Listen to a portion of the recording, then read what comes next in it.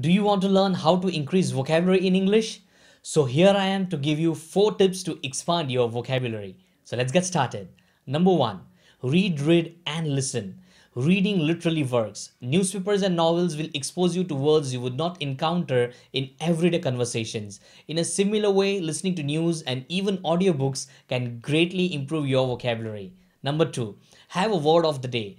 There are calendars, apps, and even websites that will give you a new vocab word every day to keep your vocabulary list growing over time. Number three, have a vocab list on the wall, at home or office.